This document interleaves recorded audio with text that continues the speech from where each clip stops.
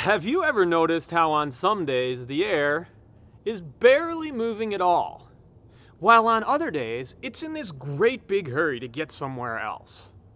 What makes the air move? Hang out with me for a few minutes as we uncover the mysteries of the wind.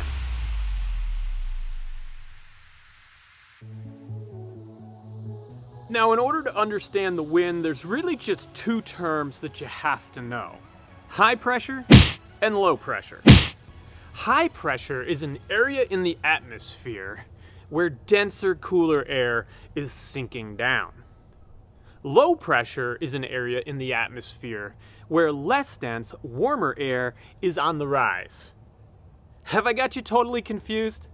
Don't worry, I've got a really great visual that's gonna help you understand this. I'm going to use my fish tank as a model to show you how high pressure and low pressure will create wind.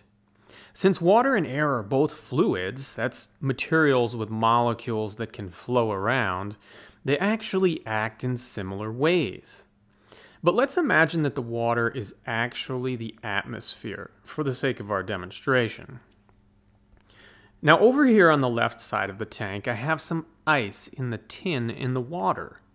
Because of this, the molecules of the fluid will slow down, move closer together, causing them to become more dense, and sink.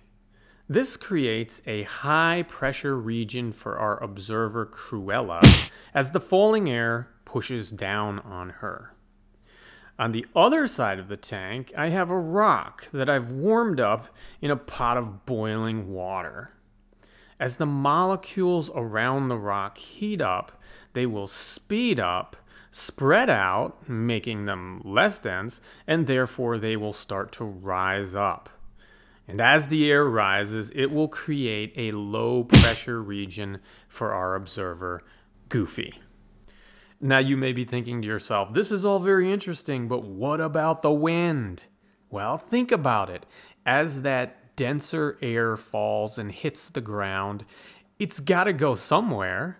So it turns and travels horizontally along the surface of the earth and takes the place of the rising low pressure air.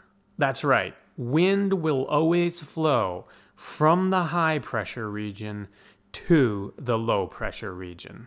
What's the scientific term for this? It's a convection current.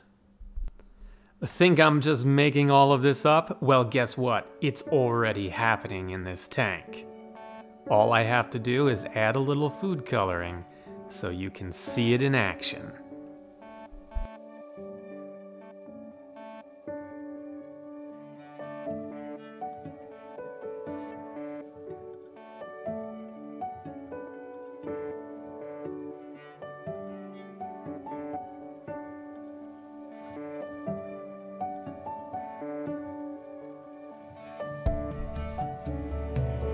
You see, wind is what happens when falling denser air moves to take the place of rising less dense air.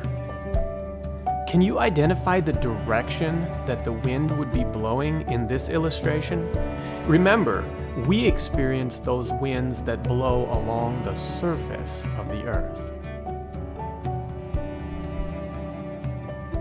Let's go ahead and watch this again in fast motion so we can really see what's going on here.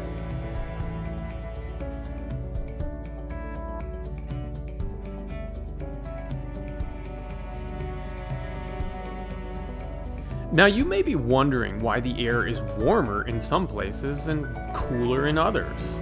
Well, that's because the sun doesn't heat everywhere on the earth evenly. Some places, like the equator, get very direct sunlight while other places, like the poles, get very indirect light.